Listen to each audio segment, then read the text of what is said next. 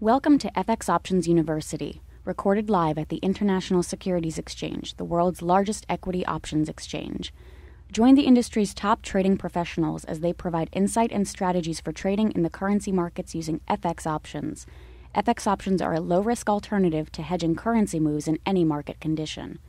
Okay, so, you know, delta is, is probably one of the Greeks that's the most approachable but it can get a little bit tricky.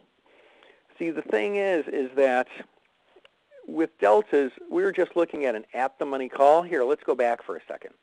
We're just looking at an at-the-money call option, right?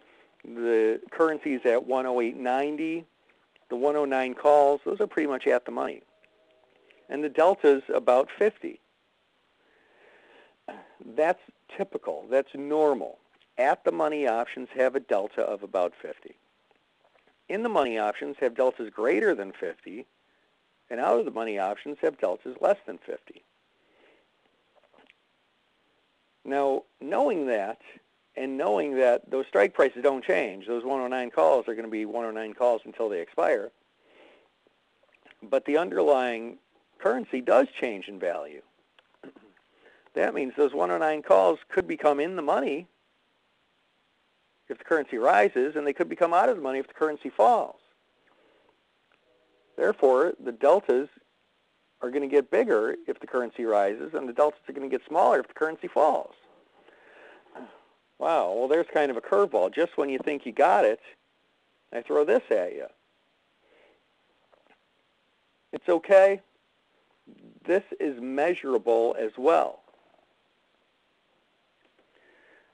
Gamma is the rate of change of an options delta relative to a change in the price of the underlying. All right, so just like delta was the rate of change of the option given a change in the underlying, gamma is the rate of change of the delta given a change in the underlying. So look, here are the delta of those same AUX 109 calls the delta is 50%, but the gamma is this. It's 0.1081. Let's just round that to 0.10 or round down. What that is is that's that, that's 10. That's 10 deltas. So if AUX rises from 108.90 to 109.90, our delta is going to increase by the amount of the gamma. Our new delta is going to be 49.70 plus 10.81. I'm moving the decimal point here. So we're basically, we're going to go from a 50 delta to a 60 delta.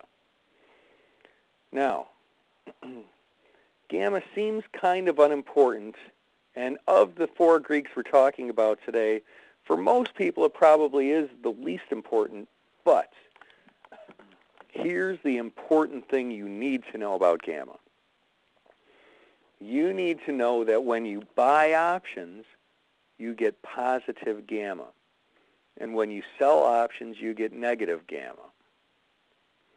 Now let me explain what that means. Think about if we bought a call here, okay? We know if we buy a call, we get positive gamma. We know if AUX rises one full point, the option rises by 50 cents. But it actually rises a little bit more than that because our delta doesn't stay 50 the whole trip up. By the time we're up a point, it's 60. So we actually make a little bit more than we think we're going to make because our delta rises. and if this currency rises another point, our delta gets even bigger, and it grows and grows and grows all the way up to 1.00 or 100. So now that's beneficial if I own that option, right? Now what if, what if we buy the call and the currency falls? Well, a point lower at 107.90, our delta is not 50 anymore, it's 40. It's 10 deltas less. So we're actually losing a little less than we think we're going to lose. That's beneficial too. And the further the currency goes down, the more gamma helps us out because we lose less than we think we're going to lose. We lose at a slower rate. We make it a faster rate and lose at a slower rate. Gamma's great, isn't it? Well, it is when you own options. When you're short options, you know, gamma kind of hurts a little bit because just imagine if we were short that call. You know, probably you're not going to sell a naked call. It's going to be part of the spread, but, you know, let's take this incrementally here, one concept at a time. If you were short this call, you know if the currency rises by a, a full point, you're going to lose 50 cents. But you actually lose a little bit more because your delta rises. That's bad. What you want to have happen is you want the currency to fall so the price of the call goes to zero.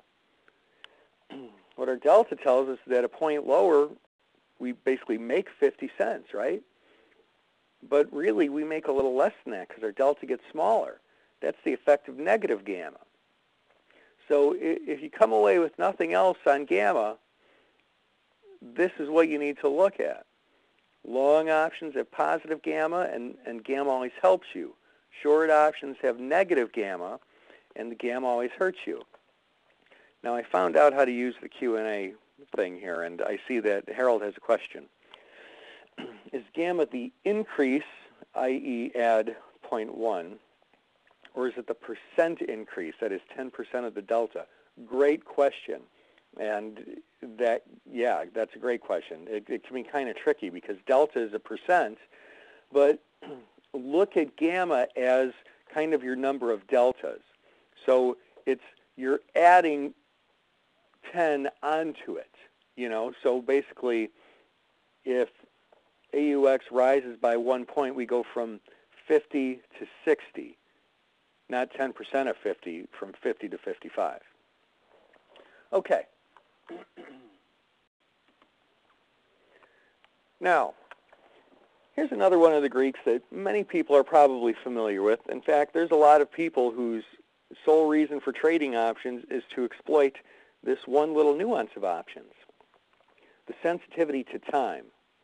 Now, if you look at this, we're going to use uh, GBP, right? That's the British pound. And that's stated in terms of British pounds over U.S. dollars. So the pounds are at, incidentally, exactly 151 in this example, which is taken from yesterday. And as you see, there's 25 days until expiration, till April expiration. That's that circle to the right side of the screen there. And the pound, the uh, 151 calls for these April pounds are 180 bid at 187. Now, for those of you who never really thought about the effect of time, what, if you're going to own a call, okay, say somebody gives you a call for a Christmas present, it's the right to buy the pounds at 151, right? Would you rather own that right for 25 days until April expiration? Or would you rather own that right for like, you know, a year, next March's expiration? Well, clearly, it, all things held constant, you're, you're being given the call. You'd much rather have that right for a longer period of time because it has a better chance of being worth something. Now, nobody's giving you a call for Christmas. You got to go out there and buy it if you want it. Thank you for participating in this week's session. Please join us again next week. Get trading ideas, exchange rates, webinars, news, and commentary. Visit www.fxoptions.com. ISE FX options can be easily traded through all options-enabled brokerage accounts. These exchange-listed securities are cash settled in U.S. dollars and have a European-style exercise.